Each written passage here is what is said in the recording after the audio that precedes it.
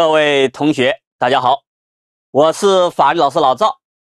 今天我们开始讲解第三章内容：行政处罚法律制度。我们看一下本章的考情分析。本章在历年考试当中，各种题型均考察到单选、多选、综合分析题。要注意，行政处罚法结合着行政复议、行政诉讼考综合分析题。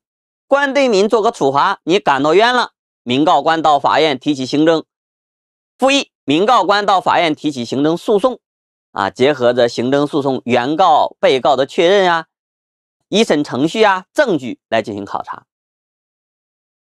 那么我们预测今年的分值啊，五分左右。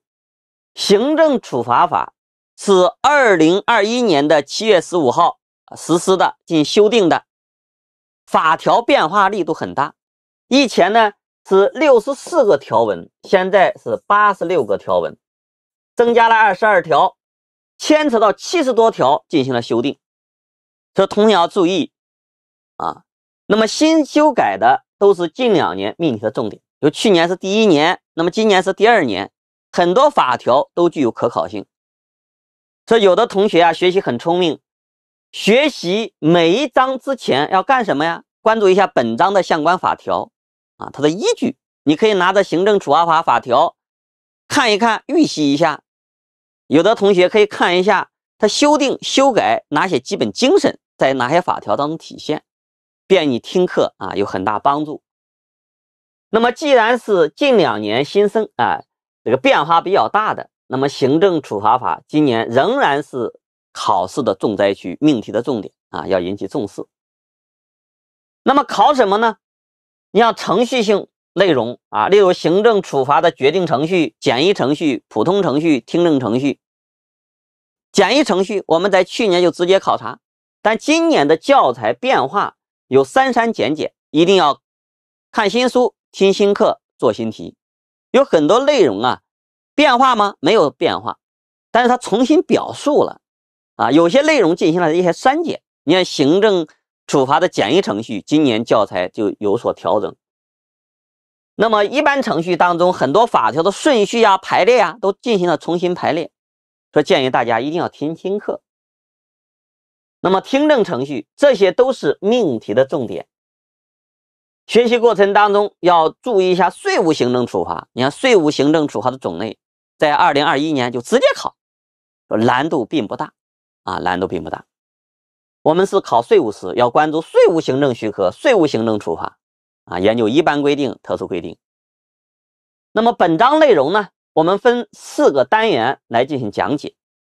第一个单元讲行政处罚的概述、种类和设定，要注意行政处罚的概念是二零二一年行政处罚法重新界定的啊，以前呢都是学理概念，不同的学者下不同的定义。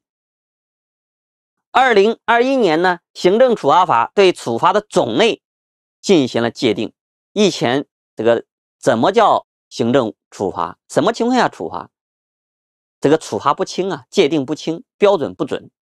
那么现在呢，有明确界定，行政处罚的种类具体列举项也进行了增加。行政处罚的设定啊，这一块都有所变化。啊，有所变化，扩大了这个地方性法规啊，他们的补充性规定啊，补充性规定。说这一块要关注一下行政处罚法新修订的内容。说历年真题啊，你记住，只有二零二一年的真题你可以参考一下，二零二一年以前的真题你就要引起重视了，因为我们的法条八十六条牵扯到七十个条文左右都进行了修订修改，要么是增加的，要么修改的。旧的法条啊，几乎很多都不管用了，所以这些都要看新书、听新课、做新题。行政处罚的实施主体、管辖和适用，特别是管辖和适用这一块变化也是很大的。现在在处罚适用上，既要重这个从重处罚，还要什么呀？保持什么呀？既要有力度，还要有温度。首次违法、情节轻微的可以不罚，是可以不罚；重则重罚。轻者轻罚，说这一块在适用上，它既体现出力度，也体现出温度啊。在管辖上，推行这个综合执法啊，综合执法。那么执法权的重心下移，往基层延伸。这同样注意这一块变化都是很大的。那么行政处罚的程序、简易程序、普通程序、听证程序，这些要注意在执法过程当中全过程记录，执法过程这个记录仪啊，全过程记录，你不能某一段记录，要进行公示。重大的违法要进行审查。那这些呢都是新增的制度。说前三个单元呢，体现出行政处罚法的规定。你要关注二零二一年七月十五号实施的这个修订后的行政处罚法法条。那么第四个单元呢，税务行政处罚特别法条规定。你研究了一般规定，要关注税务机关进行处罚它的种类，四个，它的一些特殊规定。所以同样要注意一下，先研究一般规定，再研究特殊规定，总共是四个单元。下面我们看单元一大纲框架。需要我们掌握的是行政处罚的基本原则，贯穿始终的。这个在历年考试当中，我们考过过花相当原则啊，无处罚无救济。它保护谁的权益啊？不是保护行政机关的权益，是保护老百姓相对人的权益。我们的行政法的特点就是控制行政权，保护相对人的权益啊，保护相对人的权益。那么这些基本原则，我们在历年考试都考过。行政处罚的种类。要注意重新界定，增加了很多，增加了很多。以前只有警告，现在还有警告、通报、批评的通报、批评、精神罚，都是新增的。行政处罚的设定，这些都是需要掌握的。我们给出三颗星。行政处罚的概念和特征是了解，要注意行政处罚的概念，行政处罚法有明确界定。我们以前考过行政许可法的。特征你要注意，今年考个行政处罚法的特征，这也有可能啊。你行政处罚是以违法为前提，你违反了这个法律规范，受到一种惩戒啊。与随后我们讲的行政强制措施是不一样的。行政强制措施啊，行政强制执行啊，你看行政强制措施暂时性的，你可能没有违法，防止危险的发生是吧？来采取的一种措施，它是有区别的。好，下面我们关注具体内容。行政处罚法规定，行政处罚啊，给它明确界定，是行政机关依法。这告诉他，行政处罚的主体是行政机关，是吧？依法，依法来处罚。对违反行政管理秩序的公民，是不是违法为前提啊？违反行政次序啊，公民、法人、其他组织以减损你的权益、增加你的义务的方式予以惩戒的行为。所以这些关键词很明显，行政处罚是行政机关以申请还是以职权呀？那一定是以职权的，谁也不会说我难受啊，你罚款我一百万啊，以申请的那很明显是错误的。行政处罚是以职权的，以行政相对人、公民、法人其他组织违反行政管理秩序为前提，官对民的一种惩戒啊，惩戒。那怎么惩戒啊？减损你的权益、你的财产权，进行罚款、没收你的非法所得，减损你的财产权，啊，增加你的某种义务，限制你从业，人家能做你不能做，啊，叫资格罚，叫行为罚，人身自由罚，行政拘留十五天。所以同样要注意一下，啊，增加某种义务，来一种惩戒。我们讲啊，行政处罚它体现出处罚与教育相结合，啊，还是以教育。能教育啊，我们要教育，处罚与教育相结合，要惩戒。但是光教育不惩戒行不行啊？那是不行的啊，没有痛，他是不会痛改前非的啊。所以这些概念呢，你要注意理解啊。那考试考什么呀？要注意一下，考它的特征啊，概念和特征一些问题的两个方面。问你行政处罚是以申请的还是以职权的？你倒是以职权的啊，外部管理的啊，具体行政行为它当然是损益的，不是受益的。啊，损益的行政行为，是对相对方、公民、反其他组织违反行政管理秩序的一种惩戒。怎么来惩戒啊？减损你的权益，进行罚款呀，没收非法所得，是吧？增加你的某种义务，限制你的行为，限制自由。好，这个概念搞明白了，那特征也就出来了。行政处罚是以职权的，啊，以行政相对方违反行政管理秩序为前提的。进行惩戒的一种具体的行政行为，啊，当然是一种损益的行政行为。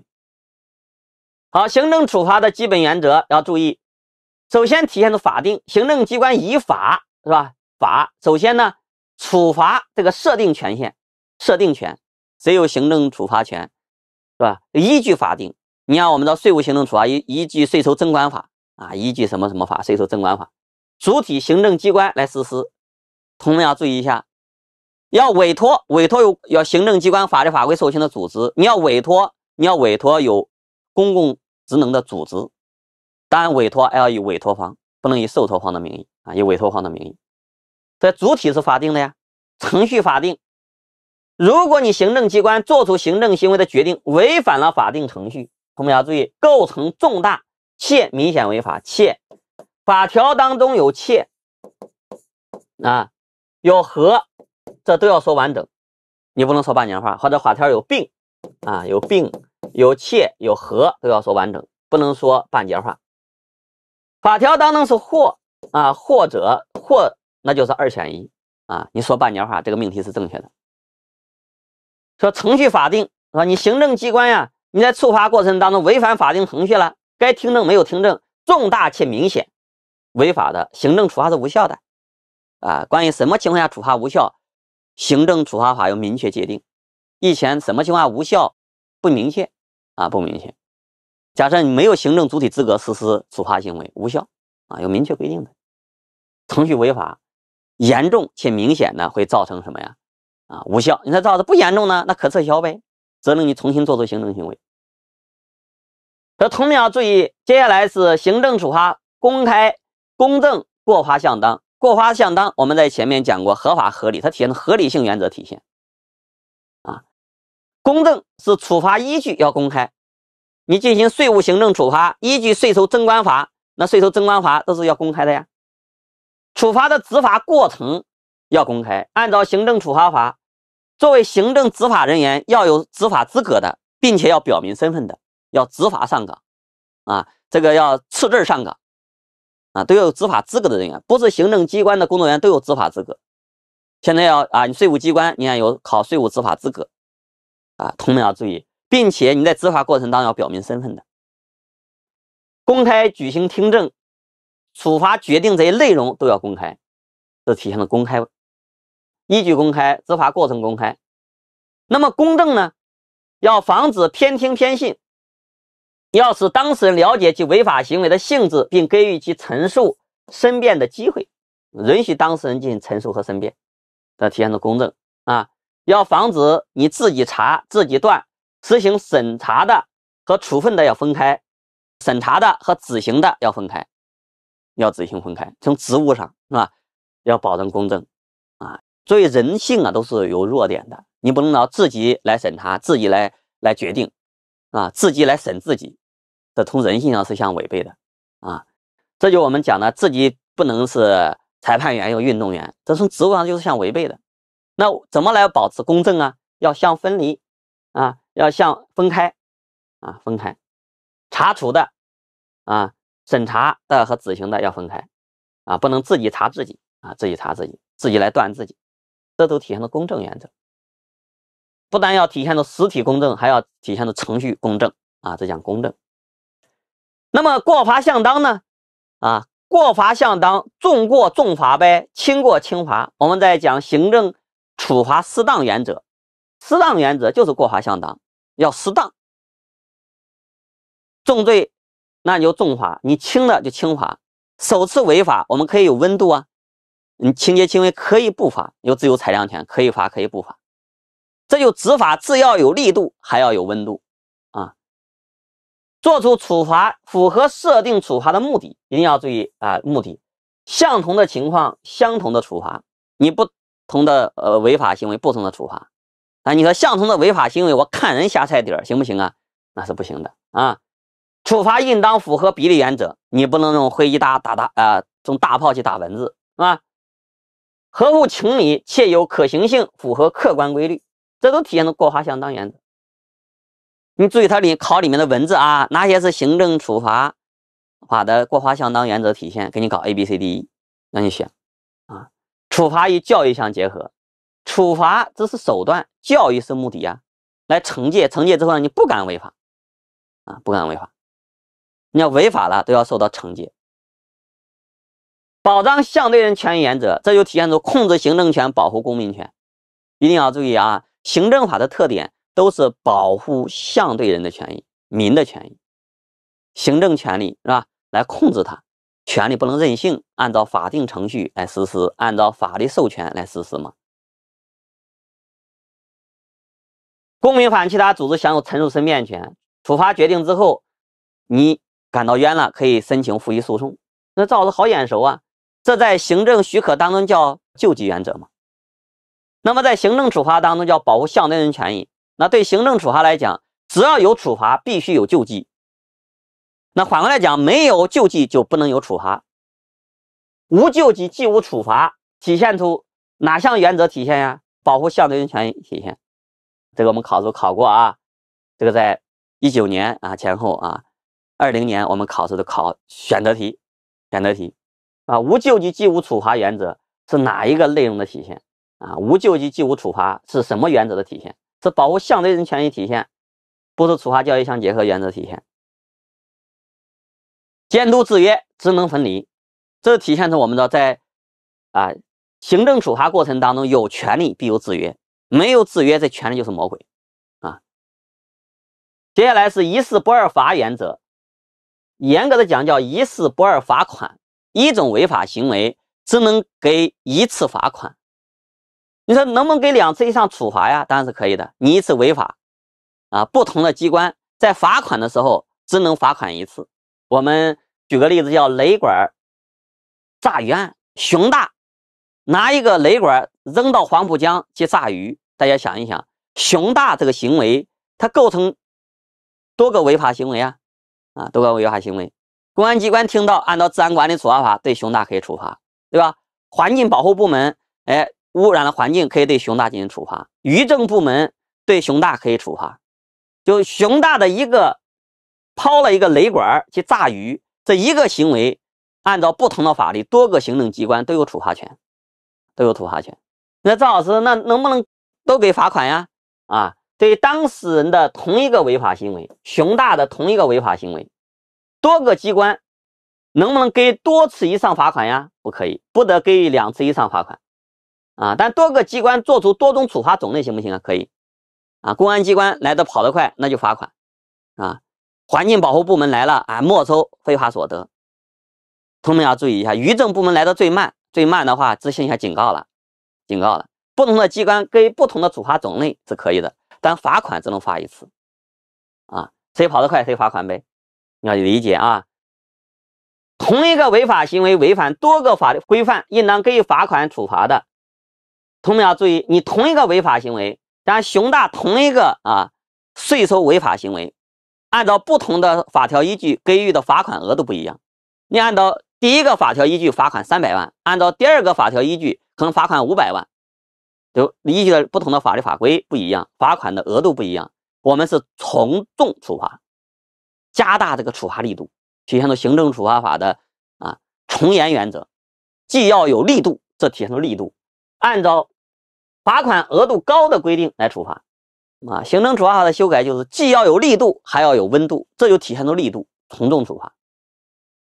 就同一个违法行为，按照不同的法律法规这个规范都可以给予罚款，罚款的额度不一样，按照从重啊额度最高的罚款额度高的来处罚。说一次不二罚款原则，这个叫法是比较准确的。一种违法行为，啊，就同一个违法行为只能给一次罚款。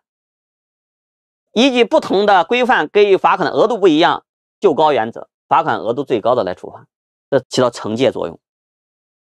说关于行政处罚法的基本原则，一事不二罚款原则，啊，保护相对人权益原则，过罚相当原则，我们在历年考试都出过题目的，大纲要求也是掌握的。我们看一个多选题，合理行政原则要求税务机关实施行政处罚时，应做到过罚相当，即作出的处罚应当符合什么？啊，过罚相当，设定处罚目的，法定目的，啊，设定该处罚的法定目的，啊，设定该处罚的法定目的，要符合是吧？应当符合这个处罚目的。无救济即无处罚原则，这个不选啊，它是单独的一项原则并列的啊，给处罚相当原则。它是保护相当人权原则，情理要符合情理客观规律，没问题。程序公正，我们的程序公正是公开公正原则呀。你知道 B 和 D 呢，它有独立的啊，B 是体现的保护相当人权原则，D 呢体现的公正原则，符合比例原则，哎，这个当选。你看都书上的文字，所以一定要注意一下行政处罚的基本原则。我们考试可能考书上的表述，这就告诉大家。教材的重要性，一定要在基础阶段手中至少要有一本辅导书啊，辅导书。说同学要注意一下，至少要有一本教材啊，这边要有一本教材，要手不离书的，一定要通读一下。关于行政处罚的种类，行政处罚法进行了具体的列举，一个是法条规定的，行政处罚法第九条明确有规定，是吧？有警告啊，通报批评。那么从学理上，这是学者们理论上给他下的定义。那法条规定的是行政处罚法，二零二一年七月十五号修订实施的这个法条规定的。啊，那么理论呢是不同的专家学者给他叫做称谓呗。我们教材上精神法，啊，同学们要注意一下，也要申诫罚，精神罚人痛苦，啊，人呢无非是精神上的、物质上的嘛，啊，一个是精神让你痛苦。那你违反了行政管理次序，怎么来惩戒呀？警告、通报、批评啊！中国人都爱面让你没面子，是吧？所以同学们要注意，这叫精神罚。那第二个是财产罚，财产罚款，没收非法所得，没收非法财物。假设你卖假药，卖假药卖了一百万，这一百万没收叫非法所得。那赵老师呢？还有假药没卖完呢，在库存的的非法财物。都给你没收，啊，卖假口罩是吧？假药没收非法所得、非法财物，当然是财产法呀。这人的权利啊，我们讲剥夺你的权利嘛，增加你的义务，那都是痛苦的事情，减损你的权益、财产权益。那人的最重要的权利是什么？生命权嘛，说中国是吧？这个抗议人民至上、生命至上，这就是不保护人权呀。美国口头说人权人权，结果死亡上百万，啊，上百万。这人的最基本权利就生存权，没牵到自己头上，自己的家人、亲人的利事，这对一个家庭是伤害是很大的啊。所以说我们讲啊，人的最基本权利就生存权，就生命权。接下来是什么呀？自由权、财产权。当然，行政处罚呢，它不存在剥夺生命啊，剥夺生命。那么，对治安人最严厉的就是行政拘留呗，限制自由啊；最轻的就是警告、通报、批评啊，最严厉的、最轻的。那么财产罚，干掉你私人财产当然是痛苦的啊，财产都是触及灵魂的事情嘛。行为罚，暂扣许可证，降低资质等级。我们知道，这个对纳税企业来讲，你是五 A 级纳税和三 A 级那不一样，不同的级别是吧？是不一样的。对企业来讲。啊，你要四 A 级以上啊，五 A 级以上，三 A 级以上，嗯，这作为一个企业，假设一个基金会，啊，你三级以上、四级以上，这个评级好的话，在税务上可以减免，直接减免。那降低资质等级，那是一种惩罚呀，啊，吊销许可证和暂扣不一样啊，吊销许可证需要听证，暂扣许可证不需要听证，要注意啊，所以我们讲哪些需要听证。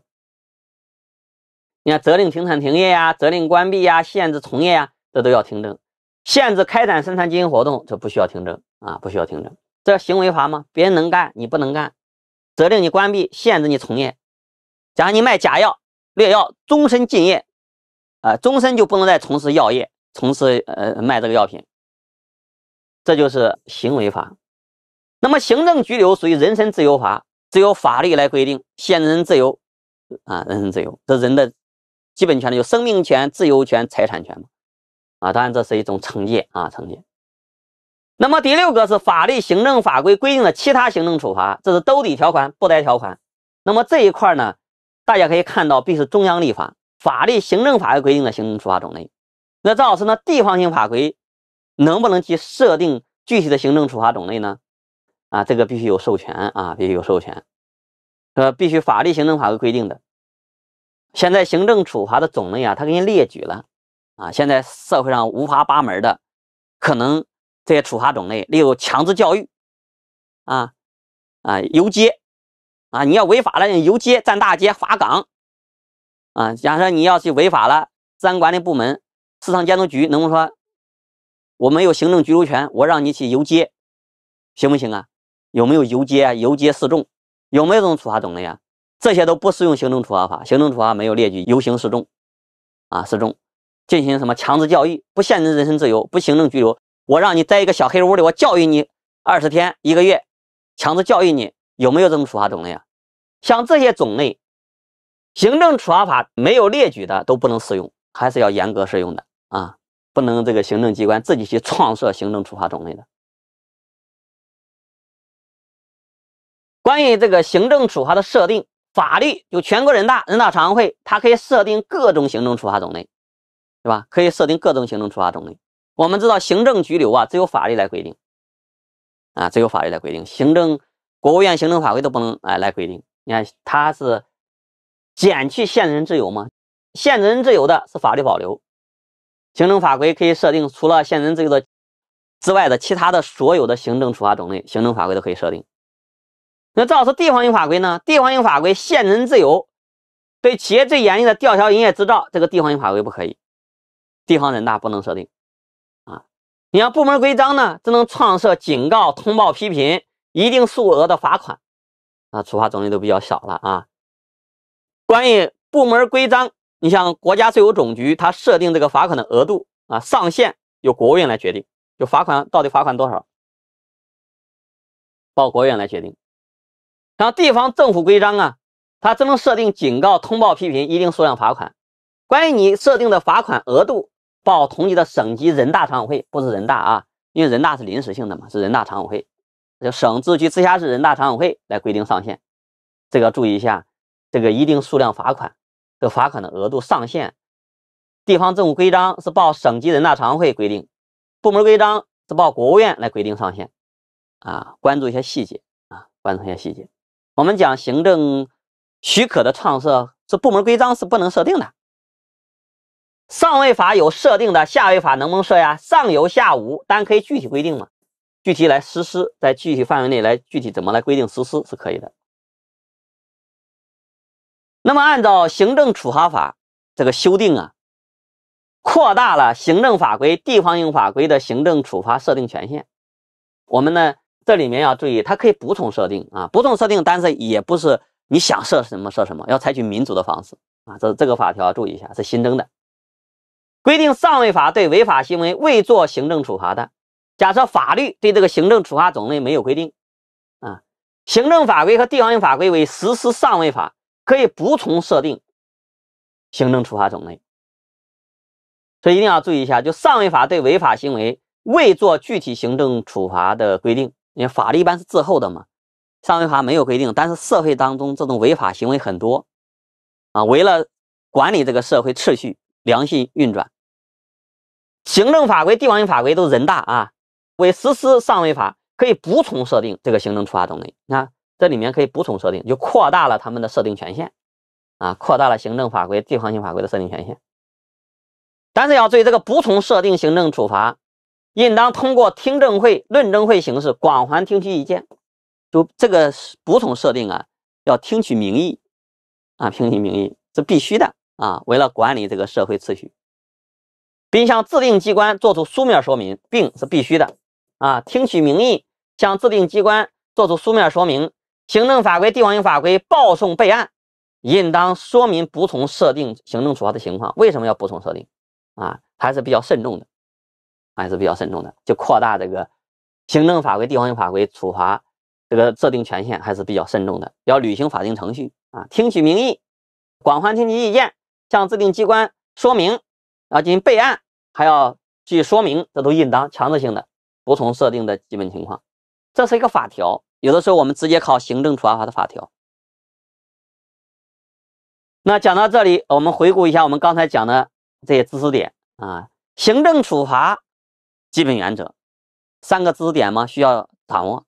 关于什么叫行政处罚，以职权的以公民法其他组织违反行政次序为前提，啊，有实施处罚权的机关，那对相对人进行惩戒，来减少你的权益，增加你的义务，啊，增加你的义务。概念搞明白了，要注意行政处罚法法定原则：依据法定制定法定主体法定程序法定。你违法了，就违反法定程序，重大且严重的、重明显的，那就无效的。这个行政处罚是无效，就自是无效的啊！公开公正啊，执法身份公开，过程公开公正啊，不偏听偏信，过罚相当，符合比例原则呀，理性呀，啊，符合客观规律啊，客观情况啊，啊，符合这个设定处罚的目的。处罚教育相结合，保护相对人权益，无救济即无处罚，监督制约职能分离，一事不二罚款原则。当事人同一个违法行为只能给一次罚款，同一个违法行为以及不同的规范给予不同的罚款的话，按照额度较高的，这就体现了这个从重处罚，加大这个惩戒力度啊，然后不敢违法。当然，这些考试我们历年考试啊，这些都是容易考的啊，大纲要求都掌握的。行政处罚的种类，按照行政处罚法条。啊，人身自由法有行政拘留，行为法有责令停产停业呀，限制从业呀，啊，暂扣、吊销许可证、降低资质；财产法罚款、没收非法所得、非法财物；精神法警告、通报批评。一个是理论上的分类，就学者们给他下的啊这个称谓。那不同的教材，有的叫精神法，有的叫申诫法，那叫法还不一样。你关注的是法条啊，随后我们。考试会经常考行政处罚的种类，税务行政处罚的种类，什么情况下是需要听证？行政处罚需要听证的，税务行政处罚需要听证的。你看去年我们就直接考税务行政处罚的种类，你看这些分丢掉可不可惜啊？两分，一定要注意，这些都是需要掌握的。法律可以创设所有的行政处罚种类，行政法规呢？国务院制定行政法规，限人自由不行。限人自由是法律保留，其他都可以。地方性法规限制自由的、吊销营业执照的不行，其他都可以。那么规章呢？部门规章和政府规章啊，它只有什么呀？警告、通报、批评一定额度的罚款，这个规定的种类就比较少。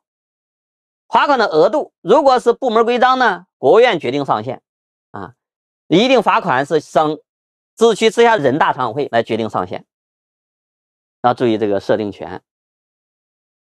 好那么本单元呢，我们就讲到这里，谢谢同学们的收看，再见。